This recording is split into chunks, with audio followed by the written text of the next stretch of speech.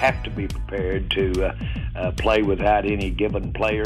That's not unusual business. He's a good friend. Obviously, you want him out here, but that's business. This is the business of football. Sometimes these things happen. Cowboys fully expected that on Sunday they were going to announce that they signed Elliott to an extension. It's not there yet. Very, very close. Zeke, do you expect to play Sunday? Uh, if I have a deal. The 40 day holdout is over. The deal between Ezekiel Elliott and the Cowboys has been finalized. This roster is stacked. All of that would make Ezekiel Elliott the highest paid running back in the National Football League.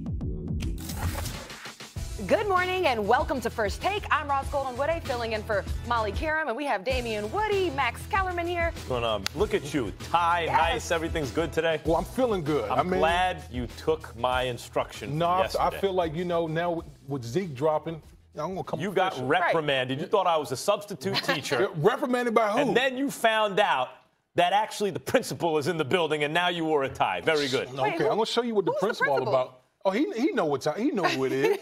Big and small right look, here. Yeah, that's right. He does look like. He does look like All right. Well, I like the tie, and we got some big news today. All the big news coming out of Big D. Finally, we've been mm-hmm. on Zeke Watch all preseason, and finally, Ezekiel Elliott and the Cowboys reached an agreement on a six year, $90 million extension. And according to ESPN's Ed Werder, the deal has $50 million guaranteed. It's a shooting match right there. That's what you said was important yeah. the whole time. All right, well, with the two years remaining on his current contract, the agreement would tie him to the Cowboys through the 2026 season.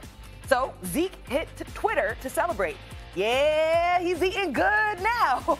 Zeke's new extension catapults him to the top of the list as the highest paid running back in football. It's a big day for Zeke and the Cowboys franchise. And guys, Max, I'll start with you. Yeah. Who won this deal, if you can even say that? Zeke or the Cowboys? Is this a trick question? This is this is not even a win with a unanimous decision. This is TKO. He won this thing with a knockout. Damien, this dude was not next up. He had two more years on his deal. He's not the best running back in the world, and he had two more years on his deal. And the Cowboys came out and said, We're not resetting the market. So let me get this straight. He didn't have to go to camp. he shows up week one, no wear and tear, as the highest guaranteed money running back in the NFL after the Cowboys said they weren't going to do it.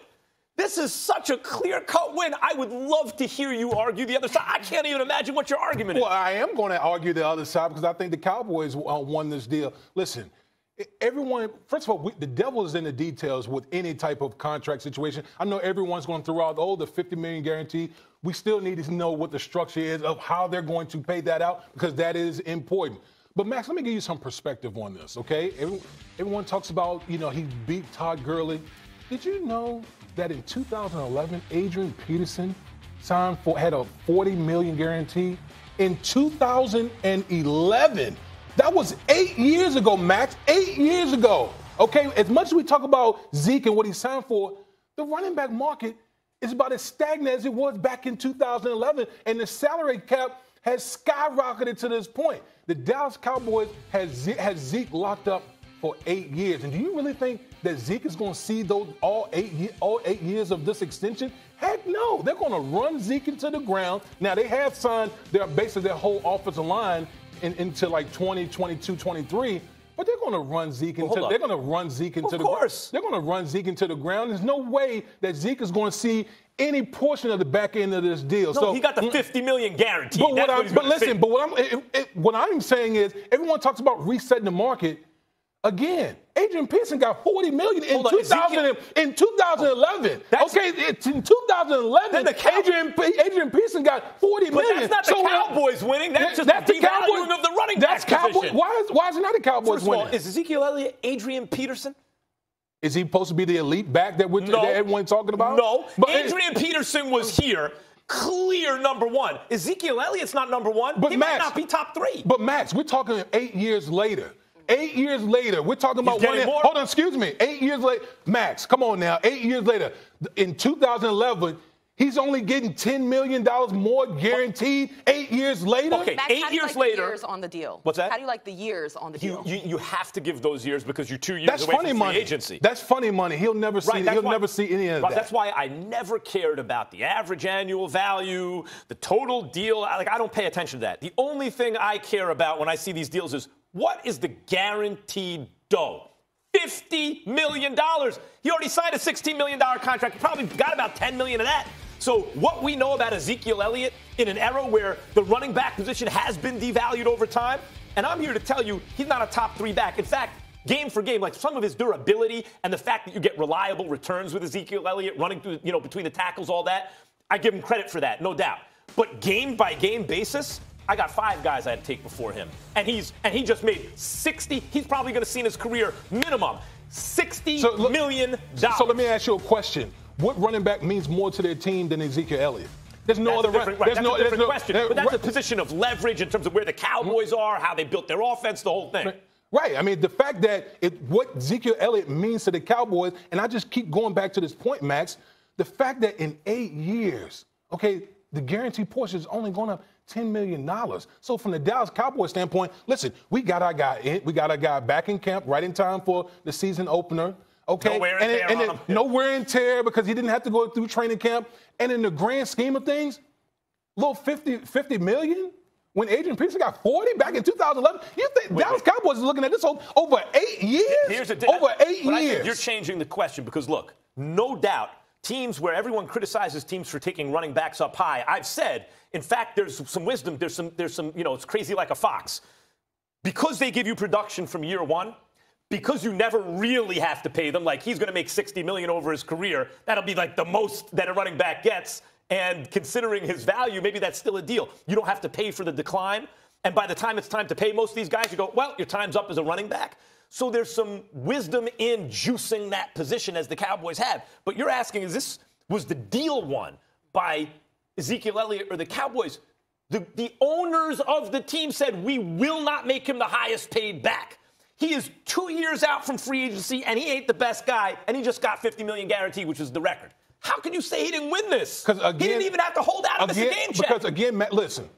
Again, a lot of this depends on the structure. We don't even. We just hear. We just heard the 50 million guarantee. We don't know how it's paid out or any of that. So I think that's a big part of the puzzle here. But again, I'm, I'm gonna just give you 50 million guaranteed. I you really care about that? Yeah. How's the structure? How, what because kind of wait, structure no, could it because be? for me, Yeah. there, I- it there's a big difference between okay, I'm getting 50, mi- 50 million guaranteed upon signing my contract, give me my money, as opposed to 50 million guaranteed where it's being spread out over a Oh, period I'm of time. quite sure it's being spread out over a Uh, period. That's right. And you know what, what else could happen in that particular situation? We've seen Zeke in the past have incidents off the field, and guess what could what guess what could be in jeopardy um, in, in that particular situation? The money, the That's on guaranteed money. Wait a minute. Oh, If Ezekiel Elliott can't behave off the field in a way that preserves his guaranteed money, that's on him.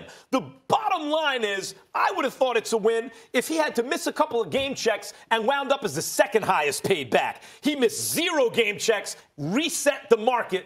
He won, brother. Ezekiel Elliott won. Do you guys trust Zeke over the course of eight years, character and behavior wise?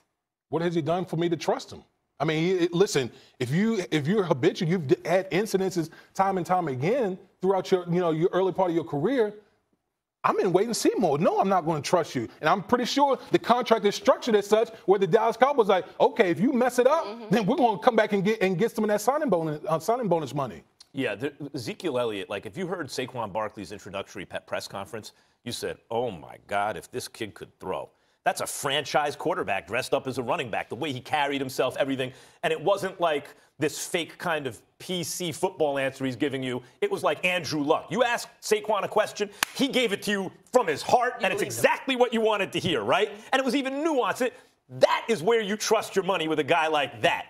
Ezekiel Elliott is a riskier proposition unless you're talking about returns on the football field. Zeke gives you constant, reliable, predictable returns between the tackles. But he's not a top three guy in your opinion. Not game for game. not, not game for game. we will touch back on this topic throughout the show and also on the topic of Dallas. First Take is coming to Big D this Friday. Join us as we kick off the NFL season in style from Texas Live, just outside Jerry's World.